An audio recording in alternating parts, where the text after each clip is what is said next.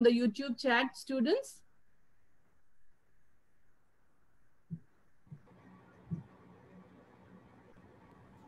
Padma, go ahead. Okay.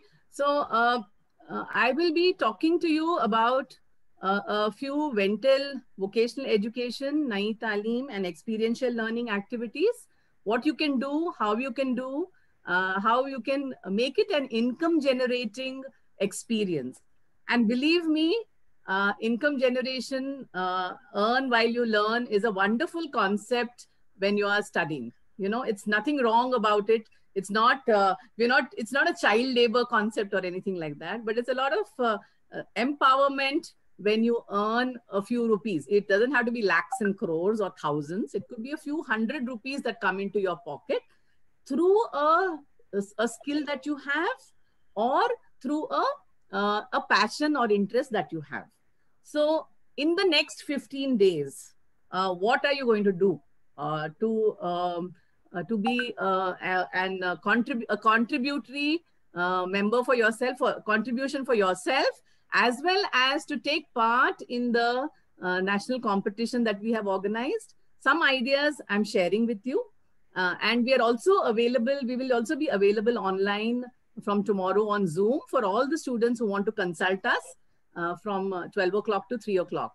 So to start with, say, um, uh, many students have shared with me in the workshops that I've been conducting that they are doing hydroponics. They want to do hydroponics. So they're saying, ma'am, simple methi, uh, you know, just put methi on a, on a sieve, uh, वो जो छन्नी होती है ना उसमें मेथी डाल दो और पानी में रख दो तो तीन चार दिन में they become plants they become plants which you can sell make them into uh, make them into bunches and sell them for whatever, five rupees, 10 rupees, and see how much income you're earning.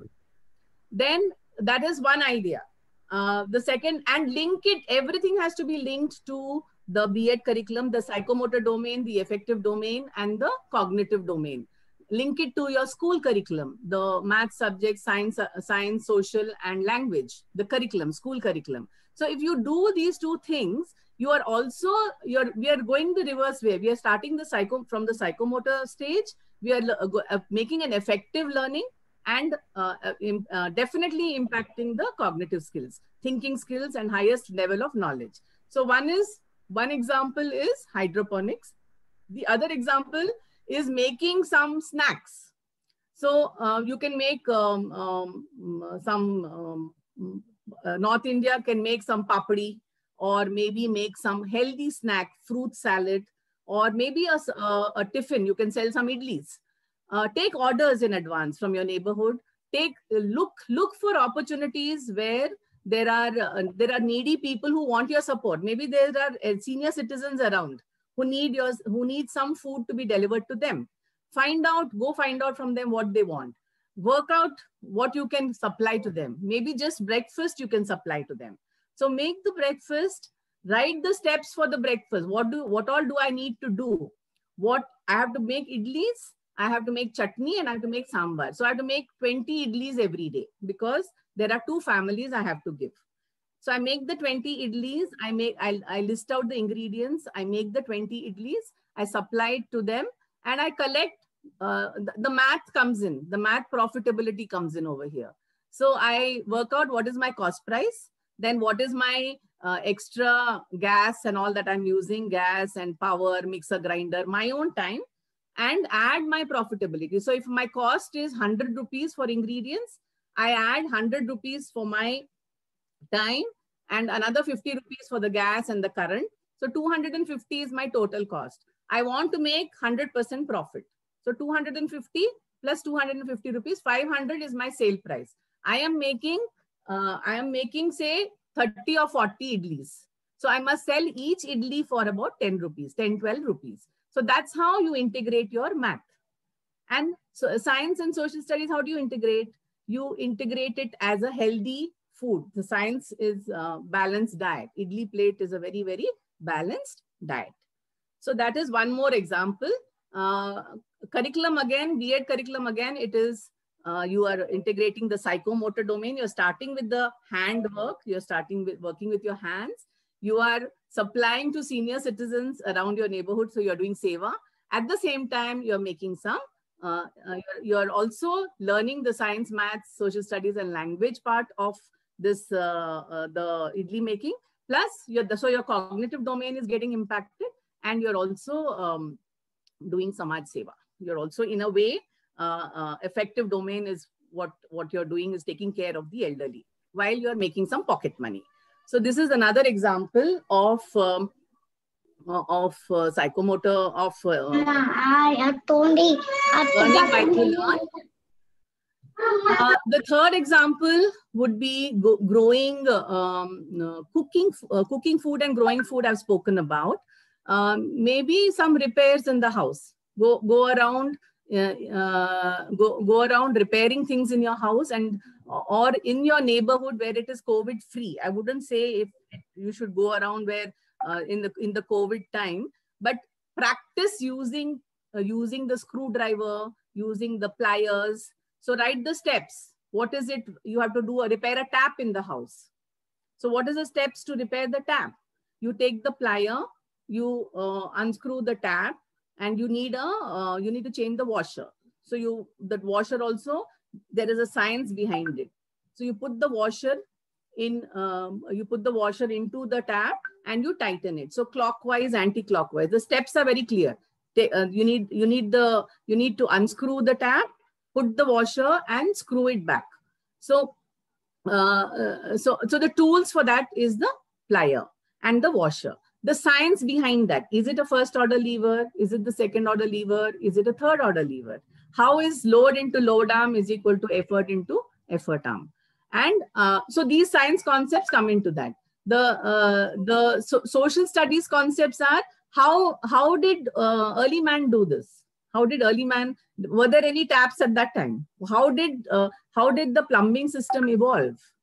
So these could be some of the, uh, some of the little uh, research activities that can be linked to this, this particular um, uh, activity of simple repairs in the house.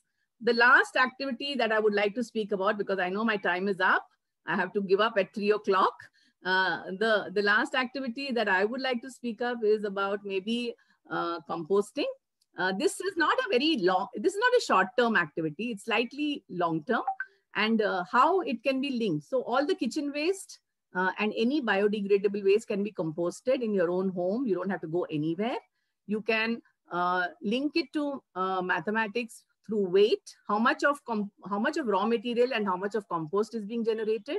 Then, uh, so you keep collecting the waste every day. All your kitchen waste you keep dumping in, just layer it. So no textbook. We're not looking looking at any textbook for this. We're not looking at textbook knowledge. We're looking at knowledge uh, from experience. And that knowledge will always stay with us. That knowledge, that skill, that learning will always remain with us. So if I take composting at home, have one dabba, put keep putting all the kitchen waste into it and any organic paper, uh, uh, anything that uh, is biodegradable, put it into that, layer it with mud, leave it for about 20, 25 days when the dabba is full. Watch what happens. There is there are a lot of worms that come in and they decompose it and they disappear. That's what I have I have learned. And uh, quarter kilo of waste every day gives me five kilos of compost in 45 days. So that knowledge is something that no textbook or no Google has taught me. I have learned this by myself. And I have so much compost now that I can donate to the community. I can uh, sell it to the community and I can cert get a certification in maybe vermicomposting and start a unit, vermicomposting unit. It's giving me a chance to set up uh, an entrepreneurial unit though I'm a teacher, though I have become a teacher, I am now thinking of how I can do that. Uh, so um, steps for this as, as steps, uh, steps, tools, precautions, and checklist. Any activity has steps. What are the steps to do the activity? What are the tools you need? For, for composting, I just need one dabba and my kitchen waste, nothing else, and a little mud. So those are the tools I need. Precautions, um, I don't think I want to put it in rainy area. I think it should be in a shady area so that the, the composting, uh, that's what I have experienced. So that would be my precaution. And uh, checklist, Um, well, the, the checklist is that I want to donate it to my community as and when I keep making it because I have so much of compost. So that those are a few tips from me for all the colleges of education, the students from colleges of education, uh, what they can do immediately. And we can, we can meet again tomorrow uh, onwards, 12 to 3. Our team is available for consultation, uh, for online support, guidance, and help. My best wishes to all of you. Happy Youth Day. And believe me, the nation is looking forward to your contribution. We have a demographic dividend, uh, which is only India has uniquely. So all of you have a lot of responsibility on your shoulders, my dear students. All the very best to you. We look forward to your contribution. Thank you. Jai Hind. Namaskar. Thank you. Thank you.